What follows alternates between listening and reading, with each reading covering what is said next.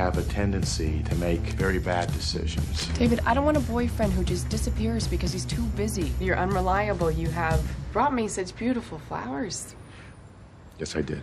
Maybe that's why I've been stuck in the same job for so long. You're three hours late, man. You know, David, I love you like a son. I am your son. Everyone has a purpose in life. I guess I just haven't found mine yet. David Wozniak, in 1994, you donated to a fertility clinic anonymously. Apparently, there was a mix up at the clinic. What? You were the biological father of 533 children. What? It is impossible to be the father of 533 children. It is impossible to be the father of four children. How would a normal person handle a situation like this? A normal person would not be in this situation. We're in trouble, David. Your kids are suing to find out who their biological father is. What do we do now? This envelope contains the profiles of your children. Do not open it. I know I shouldn't have, but I picked out one of the profiles. I just picked one. Worst idea ever. I'm an actor missing the audition of a lifetime right now. I'll take care of the coffee shop. Who are you, man? I can make a cup of coffee. I lost my job. You lost your job. I got the part. You got the part? This could be the most beautiful thing that ever happened to me. These kids need someone to look out for them. Yeah! They need a guardian angel. Hey, sexy! What are you doing? You never see a girl before? When you're looking out for these kids, will you be wearing some kind of cape? I didn't say superhero, I said guardian angel.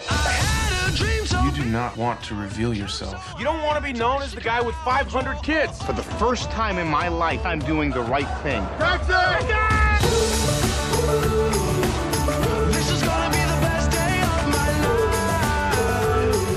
officially set out to try and have a life. Nice! It may be strange and a bit oversized, but it's my life. You don't have the skills to be a father. Daddy. Okay, stop it. I need order.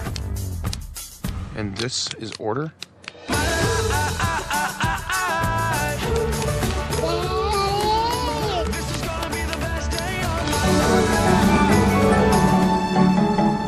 Well, I'm glad we could all come together today to share.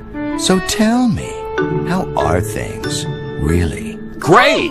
Ah, holding hands, I see. Seems we've made some real progress. What's been happening? Legal Shield? That's what's happening.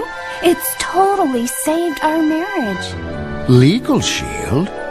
Huh. Go on, tell me more. Well, as you know, our problems all started last year at the annual holiday party. Money was really tight. Of course, the car wasn't working. Uh-huh. And as usual, I had nothing to wear. Ever heard of an oil change, Bill? Cindy! the invitation said formal, not frumpy. After that, things went from bad to worse.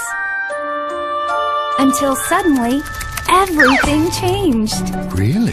Then we started selling Legal Shield. The extra income helped us save so we could finally fix a few things. Yeah, like our car. And I bought some new clothes.